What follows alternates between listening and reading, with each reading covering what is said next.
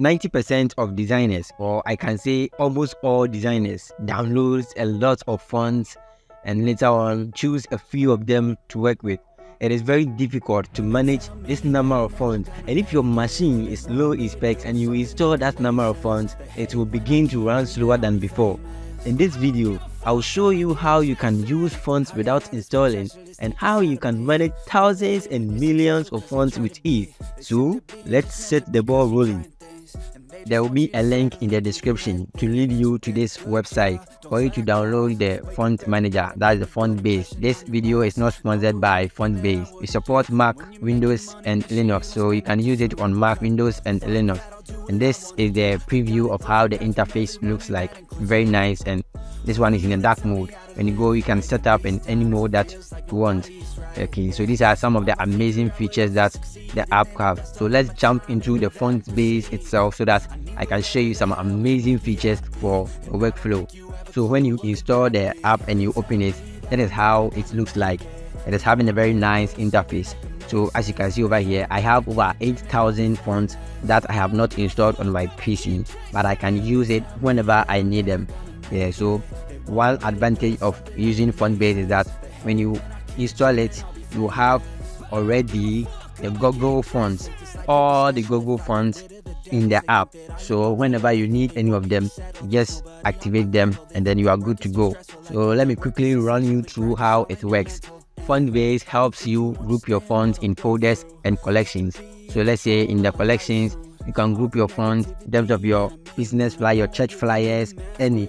You just make that collection of fonts over here.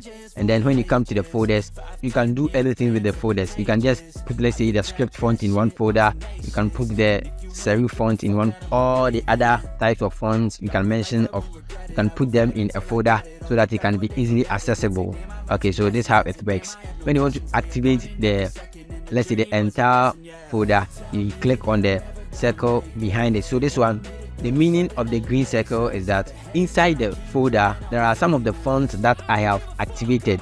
So not all of them has been activated. The green circle means some of the font has been activated. So you say partial activation of font.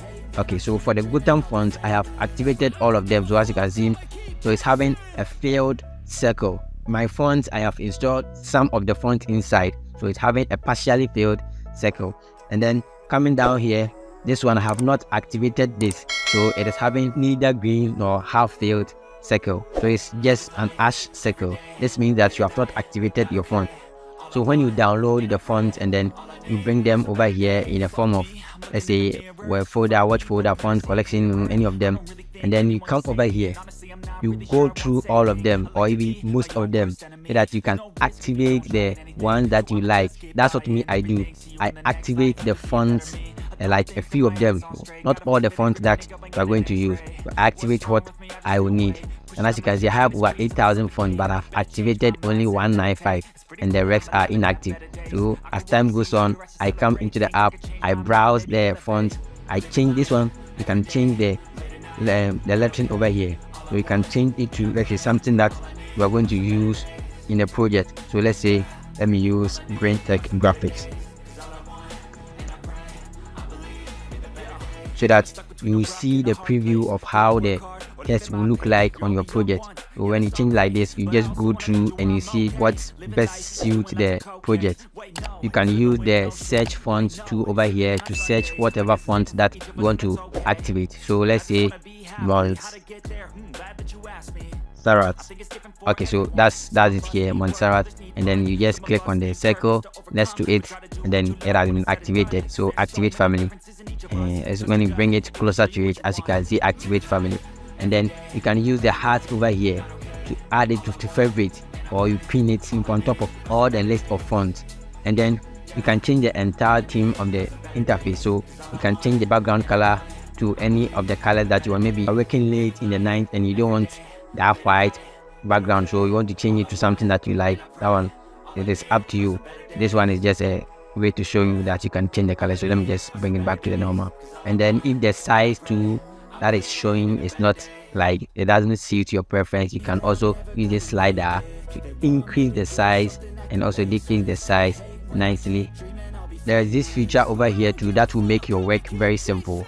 When you are choosing your fonts. As you see, it is called Super Search. So you click on it like this and you see the categories of fonts, the low contrast, the medium contrast, and the and then the high contrast, and then the low weight, lightweight, medium weight, and then the bold, and then all the other um, categories. So you can also use tags. So maybe you are working on a design that needs something comic, something casual, something that is made for children, and then something classic. Any of them, let me choose for you to see. And there's something comic, and choose all of them. Something comic. You see, these are the fonts that goes with the tag comic, and then let me go to condense. So these are the fonts that goes with the tag condense. You click on that tag, then it will give you the font that goes with that tag. This app is very powerful. And then coming to the chart here, you open the chart to you see you can choose the font in terms of the contrast the weight the proportion and the x height. Very very very simple. If you are enjoying this video give it a like and then comment down below if you have heard this app before or this is your first time. Let me know in the comment section. This font manager you can use it for free. But if you want to use these features like the categories the tags and the charts. It is very very cheap. To be awesome you have to pay just three dollars every month. And then if you want to do it a yearly subscription to $29 every year and for the forever you pay $180 forever and you are not going to pay anything again. So going with a monthly subscription you can use the promo code satori to get three months free trial and then from there just pay three dollars every month. Get all these features to manage your funds like a pro make sure you subscribe to this channel for more great content. Turn on the notification so that you will be the first person to be notified whenever i upload content like this. Now that you know how you can manage your fonts if you want to learn how to use the type tool in photoshop just click this video on the screen. Until next time guys quench not your creativity. Peace